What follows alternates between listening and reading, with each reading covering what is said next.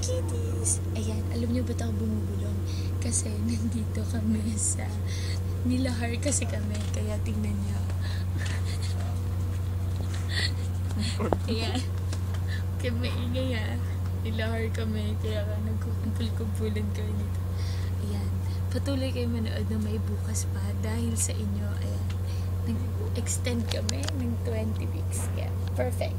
Thank you. I love you guys.